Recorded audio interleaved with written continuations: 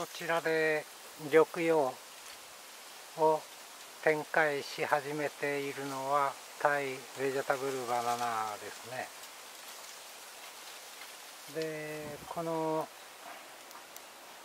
元竹林だった南向きのシャチバナナ畑ではジャイアントキャベンディッシュが謀反を越冬してだいたいこの場所では通年露地栽培が可能になってきたかなと思っています。今年はここから小株を取れるでしょうから。家の畑の方でまだ耐寒性を得ていないジャイアントキャベンディッシュがダメになったらここからの小株を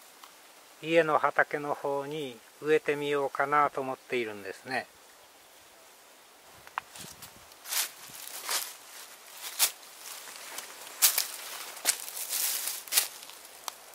ボリビアバナナ苗はイスラエルバナナ苗と同様体幹越冬性はなかったんですが無保護で冬は放任状態にしておくとやれ葉の状態がだいたい小さい苗の場合にはこんな感じになってあたかも自分の家計を多少保護するような感じで葉柄が途中で折れてやれ葉が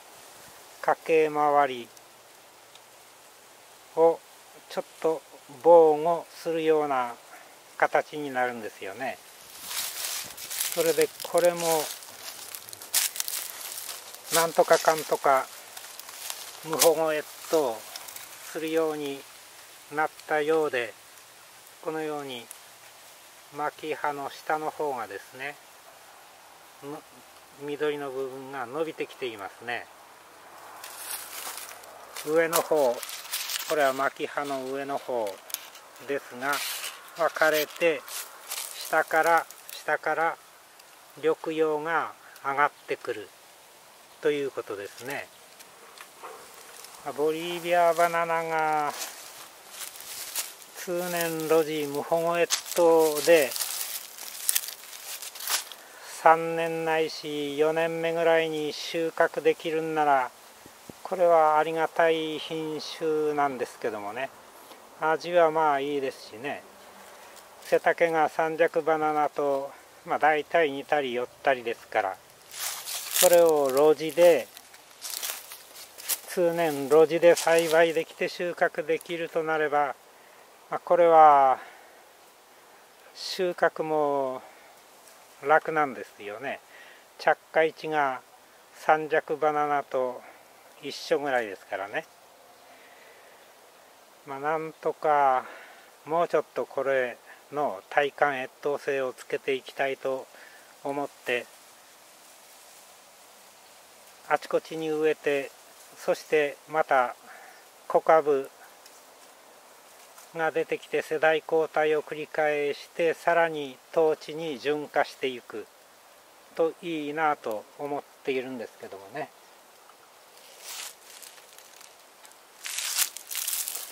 まあその他にもこの南向きのシャチバナナ畑を利用して順化土着化を進めていってそれを平地のバナナ畑にまあ小株をですね持っていってそうして平地のバナナ畑でも徐々に世代交代を繰りしな繰り返しながら体感越冬性を高めていく。という計画でいるんですけれどもね。まあ、アイスクリームバナナの巻き葉が展開中ですがおとといからの強い風で葉っぱはちょっと避けてきていますけどもね。まあこれはアイスクリームバナナであるならよくわからないんですよね。まあ不入りのアイスクリームバナナということで購入したんですけども実がなってみないことにはわからないんですが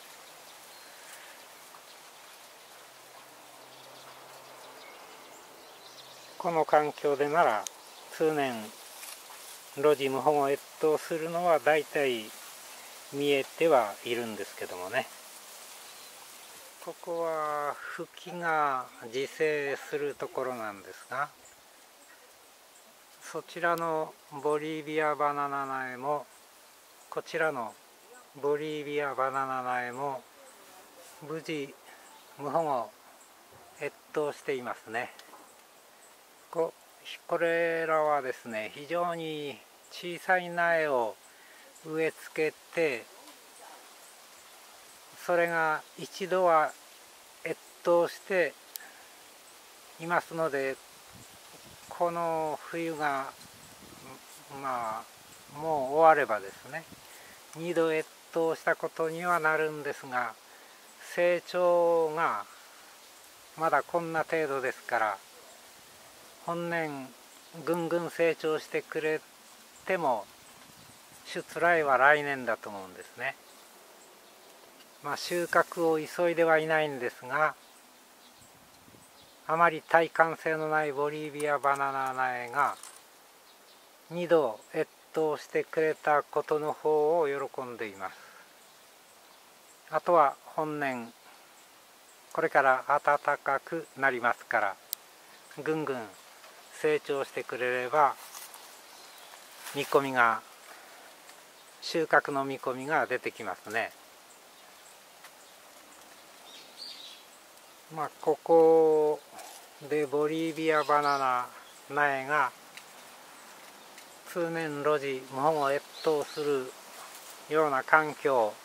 ですからこちらのアップルバナナの親子まあそこに小さいのが見えますがこれを入れれば4本で無保護で越冬することになります。マッサンバナナとかアップルバナナはやはりあまり体感越冬性はないんですよ路地で。それでも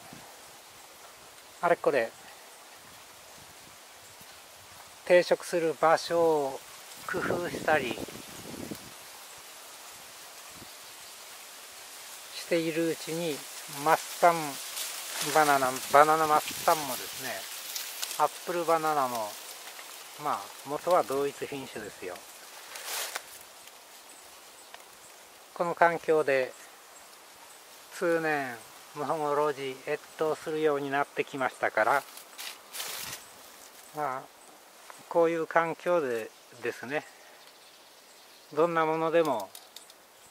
デザートバナナで味がいいものであるなら通年路地無保護越冬を繰り返して体感越冬性を高めていってそれを平地のバナナ畑に移してそこで体感越冬性を発揮するようならそれらからの切り分け株を他の地域に送って徐々に美味しいデザートバナナの数年路地無保護越冬栽培が広がっていけばいいなと思っているんですね。まあ時間はかかりますよこういうことは。やるぞと思って12年でできるわけありませんのでね植物というのはゆっくりと純化してくれる方がいいんです。そうでないと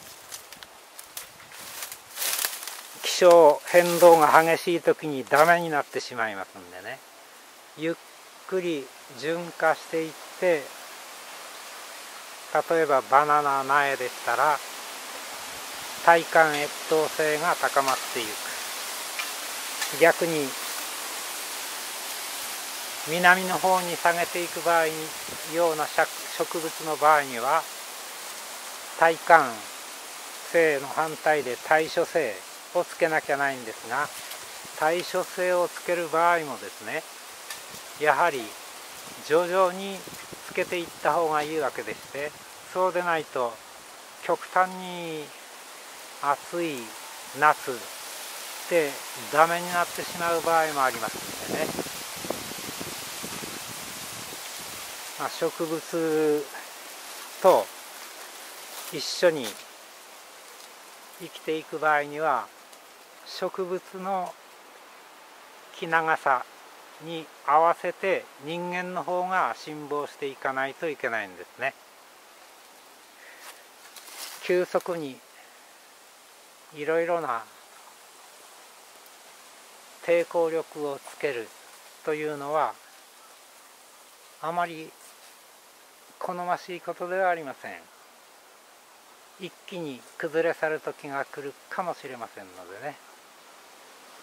そこに見えているちょっとした緑葉のは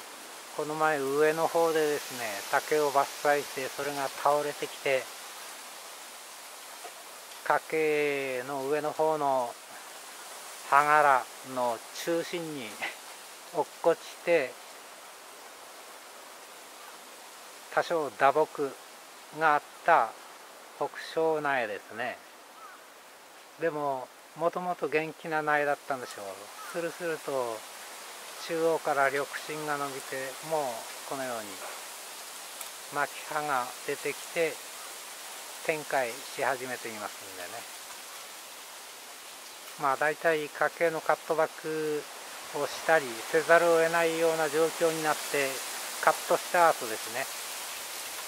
23分もしたらちょっと中央に緑芯が盛り上がってくる。そういう苗は元気でその後安心して成長しますね。それが緩慢であるとまあさほどではないしもう2ヶ月3ヶ月もそのまんまというのではほとんど見込みがないですからもう地際あたりでカットして小株を数多く取るというふうに発想を切り替える方がいいと思いますね。